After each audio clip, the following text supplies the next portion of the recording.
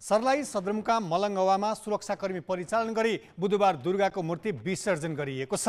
विगतमा मूर्ति विसर्जन गर्ने जाने क्रममा दुई समुदाय बीच मलङ्गवा विवाद उत्पन्न भई साम्प्रदायिक दङ्गा भएपछि विशेष सुरक्षा व्यवस्था अप्नाएर मूर्ति विसर्जन गरिएको हो। यस वर्ष मलङ्गवा सहित सर्लाही जिल्लाभर पैँसठी ठाउँमा दुर्गा माताको मूर्ति बनाएर पूजा आयोजना गरिएको सर्लाहीका प्रमुख जिल्ला अधिकारी कोमल प्रसाद धमलाले जानकारी दिए। मूर्ति विसर्जन कार्यक्रममा विगतभन्दा यसपालि सर्वसाधारणको न्यून सहभागिता रहेको थियो। विगतको घटनाका कारण यसपटक मूर्ति विसर्जनमा सुरक्षाकर्मीको सङ्ख्या बढी रहेको रहे, थियो भने विगतको मार्गबाट दुर्गाको मूर्ति घुमाउन सुरक्षाकर्मीले अनुमति नदिएपछि अधिकांश सर्वसाधारणले आपत्ति जनाउँदै विसर्जन कार्यक्रममा सहभागिता जनाएनन्। केही समय अघि मलङ्गवामा विश्वकर्मा पूजा र गणेश पूजामा मूर्ति विसर्जन गर्न जाँदा दुई समुदाय बीच झडप हुँदा कर्फ्यू आदेश नै जारी गर्नु